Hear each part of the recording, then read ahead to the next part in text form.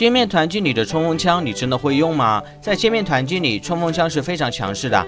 今天带来歼灭团境冲锋枪实战教学。用冲锋枪，首先要遵守一个原则，别在空旷的地方和敌人打中远战。你要记住，你的优势只有近战，所以开局一定要找好房子等等掩体，也别盲目冲锋，先观察情况。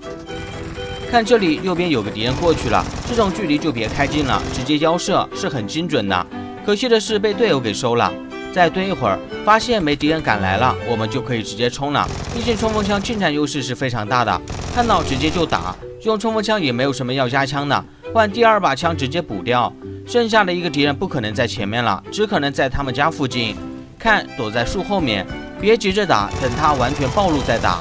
这时候就要开镜了，保证又快又精准的击杀。还要记住，每个人的习惯是很难改变的。刚才开局往右边冲的人，这局大概率还要来。我们就在这边等他。OK，直接打。敌人已经被我们吓住了，这时候就可以直接冲了。看见了人影在动，别犹豫，直接右射开枪。